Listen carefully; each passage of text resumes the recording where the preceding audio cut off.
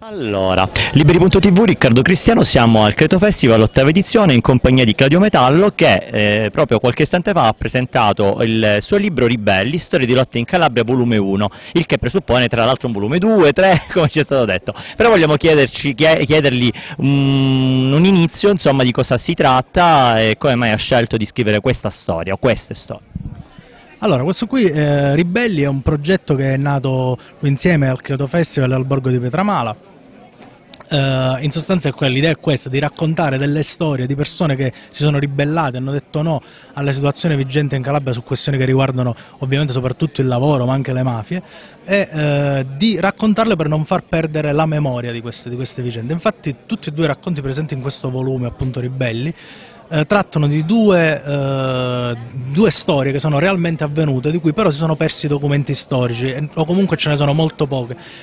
E infatti i personaggi che vengono raccontati sono realmente esistiti, ma poi in realtà vengono raccontati attraverso la finzione, attraverso la fiction, appunto in queste due vicende. Uno è la storia di un regicida realmente esistito, nato a Cleto, che si chiamava Nicola Pagliaro, e l'altra è la, la storia dello sciopero, il primo sciopero di sole donne probabilmente d'Italia, che è avvenuto ad Amantea.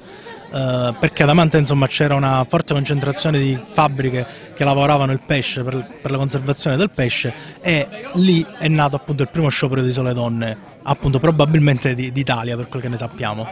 Claudio, tu dicevi prima eh, nella presentazione che avete fatto proprio qua in piazza che eh, sarebbe stata tua idea farne addirittura un documentario, eh, se ci fosse stato il materiale, però nessuno vieta che magari diffondendo questo libro qualcuno possa eh, diciamo, trovarlo il materiale e portartelo come accade spesso per le tragedie o per determinate storie.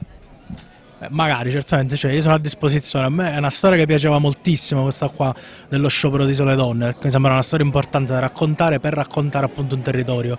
che vive tutta una serie di difficoltà ma che in realtà appunto in tempi passati è stato anche resistente, no? è stato forse più forte di quello che è adesso, di come lo vediamo adesso. Quindi sì, ben venga insomma, la possibilità di, di poterci eventualmente rilavorare attraverso un documentario.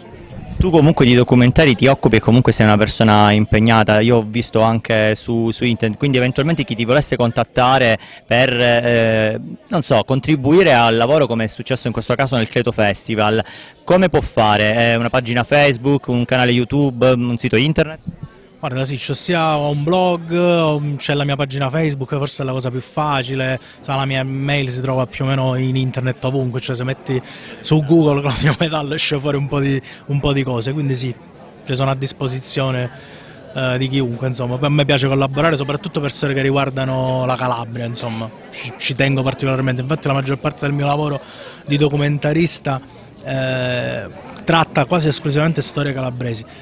cercando sempre di vederle dal punto di vista positivo, anche quando si racconta eh, ad esempio una storia come quella che ho raccontato in un documentario che si chiama Un pagamo la tassa sulla paura, che racconta del pizzo alla Mezzia Terme, ho cercato di dare un approccio eh, positivo, raccontando le storie dei commercianti che erano riusciti ad uscire fuori da questa cosa. O quando ho parlato della questione delle navi dei veleni un documentario che si chiama L'avvelenata, anche lì è chiaro c'è un problema, c'è un problema di rifiuti, c'è un problema di inquinamento, c'è un problema di controllo del territorio. Però è vero pure che il 24 ottobre del 2009 noi calabresi, perché c'eravamo solo noi calabresi, siamo scesi in piazza in 40.000 da Mantea per chiedere la verità, la giustizia e le bonifiche e quella è una lotta che ancora stiamo portando avanti.